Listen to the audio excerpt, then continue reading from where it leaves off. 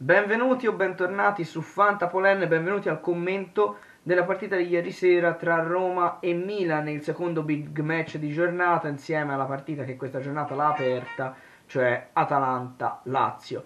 Ehm, è una partita che io mi aspettavo potesse essere un po' a senso unico, cioè vedevo strafavorito il Milan, detto proprio sinceramente, secondo me la, l'andamento dei 90 minuti ha certificato questa superiorità del Milan, eh, nonostante poi la vittoria sia arrivata a seguito di alcuni episodi arbitrali piuttosto discutibili, anzi molto discutibili, ma che vi andrò a dire successivamente. Eh, Roma che si è svegliata soltanto nell'ultimo quarto d'ora a seguito dell'espulsione di Teo Hernandez, c'è stata una scossa della Roma più di carattere che di testa e ha creato i presupposti per il gol che ha trovato solamente al novantesimo con El Sharawi e poi c'è stato l'episodio del possibile rigore di Kier su Pellegrini, comunque vi ripeto, gli episodi arbitrali li valuto dopo. E io penso che la partita di ieri abbia dimostrato che la differenza tra le due squadre è ampia, eh, ma non è solo la partita ieri che lo dimostra, è tutto il campionato che dimostra che il Milan è di un'altra categoria, eh, ma, ma, parecchio più avanti alla Roma, perché comunque il Milan è da inizio anno che deve avere a che fare con tante mancanze. Cioè, c'è state alcune partite dove mancavano anche 5, 6, 7 titolari e nonostante questo il Milan comunque le partite le, le impone in un certo modo. Poi fortunato magari contro il Verona, fortunato negli episodi arbitrali contro il Bologna, tutto quello che volete. Comunque è una squadra che non ha mai realmente sofferto l'avversario, eh, che ha imposto una superiorità a tratti imbarazzante contro tante squadre, nonostante avesse a che fare con molte, con molte assenze anche di giocatori fondamentali. Roma che invece continua a schierare sempre i soliti 11, manca Spinazzola che sarebbe ovviamente il titolare sulla sinistra, ma gli altri sono i titolari fissi. Mourinho eh, anche nelle dichiarazioni confessa che evidentemente i panchinari fanno schifo. Eh, io penso che l'eliminazione dei vari di Avara, Kumbulla, Borca Maiorale, eccetera, sia stata una paraculata dopo la bruttissima figura contro il Bodo Glimt. Cioè lì Mourinho ha, ha fatto forse la, la, peggior figura della sua carriera e per pararsi il culo ha dato la colpa a 5 giocatori e l'ha buttati fuori rosa. E secondo me è andata così perché se è vero che Borca Majoral non è questo fulmine di guerra, se è vero che Kumbula da quando è arrivato alla Roma non è che abbia fatto vedere niente di che, anzi, cioè proprio il Kumbulla di Verona è proprio un lontano ricordo. Se è vero che Diavarà è un giocatore molto limitato, tutto quello che volete, però di via buttare fuori rosa 5 giocatori mi sembra eccessivo, poi è inutile che uno si lamenti che la rosa è corta, che poi la rosa della Roma non sia attrezzata secondo me per poter competere per le prime quattro posizioni, questo sono d'accordo. Cioè, secondo me la, la, la, Roma per quello che ha a disposizione non è da prime quattro posizioni. E quindi se la Roma arriva sesta non è che Mourinho è scarso, e il valore della squadra è quello. Però gioca veramente male. È una squadra che veramente gioca male, che non si vede che quando ha palla non sa cosa fare col pallone i giocatori anche più, più, creativi, più tecnici, lo Zaniolo, il Pellegrini, il Mkhitaryan in situazione quando hanno, hanno, palla si vede che si guardano proprio sperduti, no? che non sanno cosa fare col pallone. È una brutta, una brutta situazione, soprattutto se consideri che la Roma difensivamente ha dei limiti piuttosto palesi. Ha dei limiti palesi perché? Perché lui Patrizio è uno dei portieri che ha fatto più parate nel nostro campionato, parate anche difficili e provvidenziali e uno può anche dire, eh, ma è un giocatore della Roma, è il suo compito parare, sì, però vuol dire che la difesa fa da tutte le parti. E questa, eh, insomma, questa debolezza, questa fragilità della difesa erano altamente prevedibili, secondo me, perché se Kumbulla non è più quello di Verona, se Smalling, oltre a che ha degli screzi con Mourinho, è anche un giocatore fisicamente inaffidabile, ti presenti costantemente con Mancini e Bagnez, che sono due giocatori giovani, Ibanez è un giocatore giovane anche nel modo di, di, di giocare, è un giocatore che alterna grandi giocate, ha delle insicurezze, ha delle amnesie assurde. Mancini è un giocatore, secondo me, tra i cinque giocatori più sopravvalutati nel nostro campionato. Un giocatore che a me non è mai piaciuto nemmeno ai tempi di Bergamo, scarsissimo nelle marcature, è molto sopravvalutato e quindi la coppia difensiva Mancini-Bagnez secondo me è molto fragile. Se in più ci metti che Spinazzola è assente, Vigna è quello che è, anche perché arriva da un campionato eh, dall'altra parte del mondo, quindi bisogna anche dargli il tempo di ambientarsi. Karsdorp sta facendo benissimo ed è una, una piacevole sorpresa, insomma eh, la difesa è quello che è, quindi io penso che, che la Roma è normale che faccia fatica, che il Milan è di un'altra categoria e in campo questa superiorità si è vista sia ieri nello scontro proprio diretto tra le due squadre che in queste prime 11 partite dove Milan ha dato tutte altre sensazioni rispetto alla Roma. E, ehm, per quanto riguarda il Milan, Milan che secondo me ieri non ha fatto una delle sue migliori partite, soprattutto a livello offensivo, perché difensivamente è sempre il solito Milan solidissimo, a parte, ripeto, l'ultimo quarto d'ora, però in attacco ha fatto veramente fatica. Anche qua ci sta perché mancava Brian Diaz, perché comunque non c'era Tonali titolare, Tonali è un giocatore che ha fatto molto bene quest'anno fino ad ora e manca Rebic che comunque mh, il Leao di questo inizio di campionato è titolare secondo me Rebic è la riserva però Rebic è un'alternativa importante perché è un giocatore più potente e più orientato all'essere anche un, un falso 9 rispetto a, a Leao. Ibrahimovic è totalmente fuori forma e lo si era già visto contro il Bologna secondo me lo ha riconfermato anche ieri sera sebbene poi sia stato decisivo però è stato decisivo su calcio piazzato in campo si è visto veramente poco. Quindi secondo me eh, questa squadra mh, ha dimostrato ancora di essere forte, sta attendendo il rientro di alcuni giocatori importanti, ha tante eh, possibilità, ora è da vedere in Champions che cosa combina, perché secondo me se il Milan esce completamente dalle coppe europee, nel senso arriva quarto nel girone e quindi non si qualifica nemmeno per i sedicesimi di Europa League, è una squadra che si può concentrare solo sul campionato, diventa veramente la strafavorita per lo scudetto secondo me. Se dovesse invece arrivare terza nel girone e qualificarsi a Europa League ci sono queste trasferte europee che potrebbero togliere energie e togliere anche giocatori perché è una squadra che evidentemente a livello fisico è molto fragile perché si fanno male tutti a rotazione quindi vuol dire che la preparazione atletica è, è impostata così e quindi ci può stare che perda dei punti per strada. Però vittoria, secondo me, strameritata del Milan per quello che si è visto in campo, ma che è stata macchiata in maniera indelebile da degli errori arbitrali veramente, veramente gravi e ingiustificabili nell'era del VAR. Allora, il rigore fischiato al Milan per intervento di Bagnez su Ibrahimovic per me è un rigore da calcio femminile, cioè non si può fischiare un rigore così soprattutto se in tutta la partita eh, Maresca ha, ha, ha, ha, diretto la partita in maniera molto English, cioè insomma i contrasti eh, fisici anche abbastanza mascolini li ha lasciati correre, quindi perché fischi un rigore così? È un rigore che tra l'altro ti chiamano al VAR perché hai fischiato una stronzata, vai al VAR e decidi di confermare la scelta, quindi è proprio una presa di posizione anche caratteriale che si può comprendere perché perché si può comprendere che io penso che un arbitro non, non, sono un arbitro io, però penso che un arbitro non, non, sia felice di essere chiamato al VAR perché vuol dire che non si è accorto di qualcosa, vuol dire che ha sbagliato una valutazione, quindi è una critica, no? Quando viene chiamato al VAR. Però lì, insomma, secondo me il rigore è veramente inventato, non si può dare un rigore così. Però vuoi dare un rigore così, va benissimo, poi però lo fischi anche alla Roma al 93esimo, perché il contrasto di Kier su Pellegrini è più falloso di quello di Bagnez su Ibrahimovic, cioè è più netto il rigore eh, per la Roma rispetto a quello per il Milan. Poi per me, ripeto, non c'è nessuno dei due, per me nessuno dei due è il rigore. Però, dato che te assegni il rigore al Milan per quella roba, poi devi assegnarlo anche alla Roma. Eh, per coerenza, altrimenti sono due pesi, due misure e non è corretto, secondo me.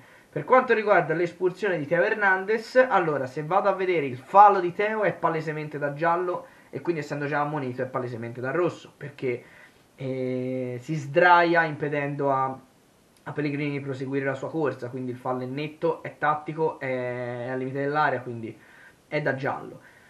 C'era un fallo precedente su Krunic, sarò sincero, non l'ho visto, ma non perché secondo me non c'è fallo, perché proprio non ho visto la situazione in diretta, non ci ho fatto caso e non ho visto i replay, quindi non lo so. Però qualora ci fosse stato il fallo su Krunic a inizio azione che poi ha portato all'espulsione di Teo Hernandez, qua secondo me il vero problema è il protocollo VAR che è scritto da un cerebro leso, perché mi spiegate perché il VAR può intervenire in caso di cartellino rosso sbagliato, ma non di cartellino rosso derivato da doppia ammonizione sbagliata? Cioè, se Teo Hernandez fosse stato ultimo uomo e Maresca avesse estratto direttamente il cartellino rosso, lo avrebbero richiamato al VAR per fargli notare che l'azione era invalidata da un fallo precedente subito da Krunic e quindi non ci sarebbe stato il fallo di Teo Hernandez che avrebbe portato alla sua espulsione. Se invece Teo non è l'ultimo uomo e fa un fallo che gli provoca comunque l'espulsione, ma per il secondo giallo, allora il VAR non può intervenire. Siamo d'accordo che è una stronzata anche perché di secondi cartellini gialli dati ingiustamente che provocano un'espulsione, secondo me ce n'è uno ogni 5 giornate. Perché già le espulsioni non sono tantissime in, eh, in Serie A. E quelle che ci sono spesso sono rossi diretti. Se sono rossi derivati da doppia ammonizione, la maggior parte delle volte il secondo giallo è sacrosanto. Perché prima di buttare fuori un giocatore per doppio giallo ci pensano due volte gli arbitri di solito. Quindi quante volte può succedere in una stagione intera in Serie A che un secondo giallo è sbagliato e non è da buttare fuori il giocatore? Io penso succederà massimo 10 volte in tutto il campionato, ma massimo. Allora per quelle 10 volte si può anche interrompere il gioco con il VAR e evitare che una partita venga condizionata in maniera anche pesante eh, da un errore di questo tipo. Per come la vedo io, quindi secondo me il protocollo sarebbe da riscrivere in, questo, in questa situazione. Bene, chiusa la parentesi sugli episodi arbitrali andiamo alle pagelle delle due squadre mi prendo il telefono perché ce le ho scritte qua. Allora un attimo solo. Pagelle delle due squadre eccole qua. Cominciamo come al solito dalla, dalla squadra di casa dalla Roma. Allora Rui Patricio eh, io a Rui Patricio ho dato 5,5 perché secondo me sul gol di Ibrahimovic è molto colpa sua. Ibrahimovic tira da una posizione molto defilata sul suo palo senza nemmeno tirare angolato Lì Rui Patricio fa il passo verso il secondo palo, aspettandosi che Ibrahimovic faccia il tiro sopra la barriera e viene fregato da questo passo qua. Secondo me è un errore molto grave, perché, perché se Ibrahimovic da lì riesce a trovare la parabola sopra la barriera non la pari comunque. Cioè proprio è impossibile. Comunque Ibrahimovic è famoso per essere un calciatore che cerca più la potenza che la precisione, quindi secondo me era prevedibile che tirasse sul primo palo, quindi è un errore grave secondo me, e gli do 5,5. E in difesa, allora, ho dato 6,5 ai due terzini, perché secondo me hanno giocato benissimo, sia Karsdorp che Vigna. Hanno giocato benissimo in fase difensiva, ma anche in fase offensiva sono stati molto presenti entrambi. Vigna mi ha sorpreso molto perché io pensavo soffrisse difensivamente, invece ha retto, ha fatto anche delle diagonali importanti, quindi 6,5 entrambi. Non mi è piaciuto per nulla Mancini, che è stato sovrastato da Ibrahimovic e, e non ha, secondo me, fatto un, una partita da, da, leader, quale dovrebbe essere perché indossa la fascia capitano. Quindi, secondo me, ha fatto una. cioè, è il vice capitano, scusate, il capitano è Pellegrini, comunque il vice capitano è lui. Secondo me, dovrebbe essere sicuramente il leader della difesa e invece non lo è mai. Quindi, secondo me, è un giocatore che andrebbe rivalutato, l'ho detto anche prima, per me è molto sopravvalutato, anche ieri ha, ha, ha lasciato delle, delle, lacune dietro, 5,5 per Mancini. Migliore in campo della Roma per me è stato Roger Ibagnez che procura il rigore, sì, però eh, coerentemente con quel che ho detto prima, che per me quello non è rigore mai nella vita se non nel calcio femminile, non l'ho penalizzato per questa cosa, anzi secondo me ha fatto un grandissimo intervento su Ibrahimovic andando a chiudere una un'occasione da gol clamorosa con un grande intervento, è stato comunque molto attento difensivamente, è stato sicuramente il migliore dei suoi lì dietro, quindi secondo me è stato il migliore in campo in Roma, gli ho dato 7 meno. E male Veretù, male, cioè mh, insufficiente secondo me Veretù che eh, ha perso dei palloni, cosa che lui di solito non fa, e non ne ha recuperati molti. E io non penso che, che forse è un po' stanco, che ci può anche stare, comunque non è riuscito a dare la sua, la sua classica partita di grande quantità, quindi 5,5 per il francese. Mi è piaciuto invece Cristante, Cristante che in questo ruolo eh, si sta ritrovando molto bene. Spesso quando ho visto la Roma Cristante ha giocato bene, è stato ampiamente sufficiente, anche ieri secondo me ha giocato bene. sia in fase difensiva, perché comunque l'esperienza da difensore centrale un Fonseca lo avrà plasmato sotto quel punto di vista, però anche in fase di impostazione, essendo stato trequartista con Gasperini, lui ha giocato sia dietro le punte che da difensore centrale, quindi sulla linea mediana si sta adeguando a giocare lì e ha le capacità sia per arretrare che per avanzare. Giocatore secondo me può diventare completo e far molto comodo alla Roma, gli ho dato 6 più. Pacchettata di brutti voti invece al poker al poker d'attacco della Roma. Allora, Mkhitaryan l'avete visto voi? Io no, 5. Eh, Abram, peggiore in campo per me nettamente della Roma, gli ho dato 5 meno. Sicuramente non sta bene fisicamente perché comunque eh, si sa che non è al 100%, però se queste sono le prestazioni che fornisce Abram è meglio far giocare allora Shomurodov o chi per lui, insomma, Abram è veramente inguardabile. È veramente inguardabile, si è anche secondo me un po' mezzo mangiato un gol su un cross dalla destra dove si è fatto rimpallare, però vabbè lì non è colpa sua, cioè il Milan è fenomenale nel proteggere la propria porta in questo modo, però veramente ha sbagliato passaggi, controlli, dribbling, veramente, veramente osceno, C- 5 meno Abram peggiore in campo. Non mi è piaciuto nemmeno Pellegrini che ha toccato tantissimi palloni come sempre, però stavolta non è riuscito a essere concreto quasi mai quindi ho dato 5,5 a Pellegrini e 6 invece a Zaniolo che è stato sicuramente il migliore dei suoi, ha fatto una lotta bestiale con, con Teo Hernandez su quella fascia di fisico, di potenza, di tecnica.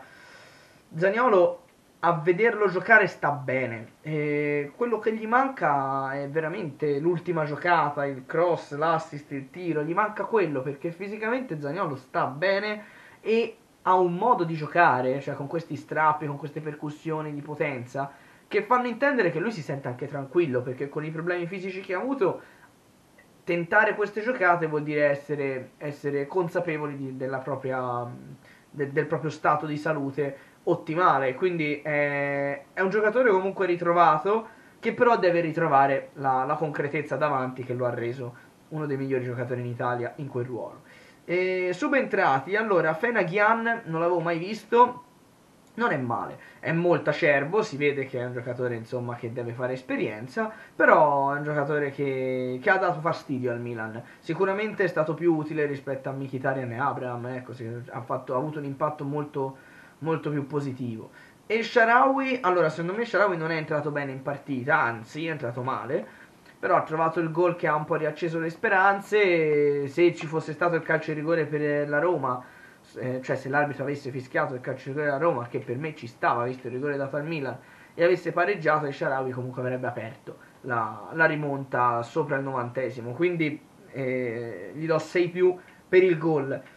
Carles Perez gli ho dato 6 meno perché anche lui non è entrato bene, però è andato vicino al gol con un, con un bel tiro a giro su stato plastico Tatarusano. Voti del Milan, Tatarusano 6,5 perché appunto bravo anche se non è una parata assolutamente difficile su Carles Perez, molto bravo sul tiro da fuori area di Mancini che sembra facile da parare perché dice eh, ma gli ha tirato addosso, gli ha tirato addosso perché Tatarusano era lì, perché dal replay dietro la porta si vede che Tatarusano intuisce il pericolo in quella zona di campo e fa due o tre passi sulla destra per avvicinarsi alla zona dove Mancini avrebbe tirato. Quindi grande senso della posizione del portiere rumeno, 6,5. Eh, peggiore in campo del Milan, Teo Hernandez, che non ha giocato male. Cioè, la cavalcata che porta all'assist per Ibrahimovic che poi si procura il rigore è spettacolare, è la classica giocata da Teo Hernandez. E la lotta con Zagnolo è entusiasmante, sia per Zagnolo che per Teo Hernandez hanno fatto una bella partita entrambi sotto quel punto di vista L'espulsione però è ingenua, cioè lì veramente non c'era bisogno di tuffarsi a pesce e fermare Pellegrini, secondo me si poteva intervenire in maniera pulita. 5,5 a Hernandez che col 5,5 è il peggiore in campo del Milan. Mi è piaciuto Calabria dall'altra parte che ha fatto una partita generosa come sul solito, utile davanti, attento dietro, 6 più. Tomori secondo me partita eh, normale. Ecco, la classica partita normale di Tomori gli ho dato 6 più perché è stato completamente oscurato dalla prestazione di Kier mi ha fatto una partita impressionante, impressionante come posizione, come interventi, anticipi, su un, un rilancio sbagliato di Tatarusano ha recuperato 5 metri a Pellegrini in 3 secondi, quindi sta anche bene fisicamente. L'unico neo della partita di Chiera è quell'intervento sullo stesso Pellegrini al 93esimo che avrebbe potuto procurare il calcio di rigore. Però è così come non ho penalizzato i Bagnets perché secondo me quello non è rigore, siccome secondo me non è rigore nemmeno quello per la Roma, eh, non ho penalizzato nemmeno Kier, quindi gli ho dato 7 e per me è stato il migliore in campo del Milan. Andiamo al centrocampo. Allora, Benasser, insomma, Benasser non mi è piaciuto molto, eh, regia ai minimi termini, pochi recuperi palla, quindi 6 meno. Non mi è piaciuto nemmeno Cassie, vi dico la verità, eh, ha battuto il rigore con, con grande freddezza del 2-0, quindi l'ho un po' alzato, però secondo me ha fatto una partita neanche sufficiente, anche lui secondo me ha fatto una partita a 6 meno come Bennasser, però per il rigore l'ho alzato a 6 più. Non mi è piaciuto nemmeno Selmakers che eh, non ha dato il suo solito contributo tattico eh, a, alla squadra e a Calabria in particolare, quindi gli ho dato 6 meno. Mi è piaciuto invece tantissimo Leao. Leao ha fatto una partita eccezionale e aveva fatto un gol clamoroso con quel pallonetto e poi successivo colpo di testa annullato per fuorigioco iniziale di Ibrahimovic però veramente Leao è in una condizione psicofisica clamorosa è un giocatore devastante su quella fascia 6,5 per Leao. Mi è piaciuto anche Krunic. Mi dico la verità a me Krunic è un giocatore sempre piaciuto fin dai tempi dell'Empoli dove giocava mezzala nel 4-3-1-2 di, di Andrea Azzoli. A me sinceramente questo giocatore piace, magari non è un trequartista, se lo si confronta con Brian Diaz è un altro modo proprio di interpretare il ruolo, perché Brian Diaz è un trequartista, perché lui ci è adattato, però a me piace, è un giocatore che abbina quantità e qualità in maniera equilibrata, è un giocatore che secondo me nel Milan come riserva va benissimo.